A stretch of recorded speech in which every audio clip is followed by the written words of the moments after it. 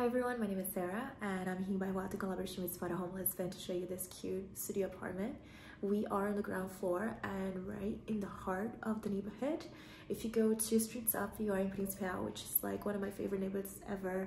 It's full of restaurants, cafes, uh, squares with some sunbathing, so it's really nice. Um, this apartment here has a living area with a couch, a TV, dining table, and kitchen, a bedroom, and they're separated by an open wall and then a bathroom. So let's check this out. So here we are.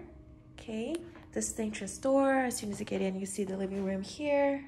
All right, with a couch, and then you have this cute uh, coffee table, the TV over there with a TV stand, and then you have a dining table for four, a fridge and a freezer, and then you have the kitchen area here with the washing machine, stove, oven, microwave, and you have some cupboards, the boiler here. All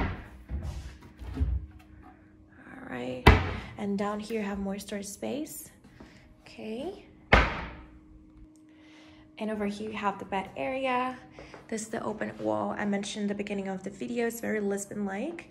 Um, we have a double bed here, okay? You have a window over there. You have some pictures of Lisbon, okay? And this is the closet, built-in closet.